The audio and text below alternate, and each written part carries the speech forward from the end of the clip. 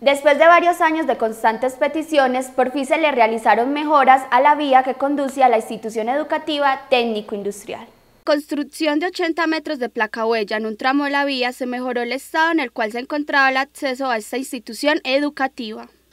Eh, ya con este impulso que se le está dando, pues que se comenzó el mes pasado con hacerle la placa huella, vemos un panorama como positivo para la vía, para la institución y para la comunidad de Sonsón en general, porque la vía en buen estado pues representa una posibilidad de acceso seguro de los estudiantes a la institución primero que todo. Nos evita los, eh, las deserciones que han habido por esa situación en la institución. Obviamente es dar gracias pues, a, todas las gestiones que se hizo pues, de parte de cada persona, ¿cierto? Porque eso fue mucho estar al pendiente, ir al consejo, de gestionar aquí por un lado, de decirnos que sí, no hacían nada, ¿cierto? Pero ya gracias a Dios se pudo mejorar algo.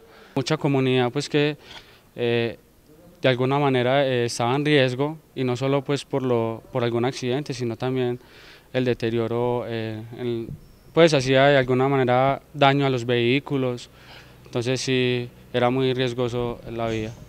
Tanto para directivos como para estudiantes es importante la intervención que se ha hecho, pero se espera que el total de la vía sea intervenida, pues la placa huella se construyó solo en un tramo. Desafortunadamente pues no se ha hecho completo, se hizo el tramo más riesgoso, pero hace falta como complementarlo, hacerle la otra parte que que va ya hasta la institución y pues revisar a ver qué posibilidad hay de hacer la vía correctamente.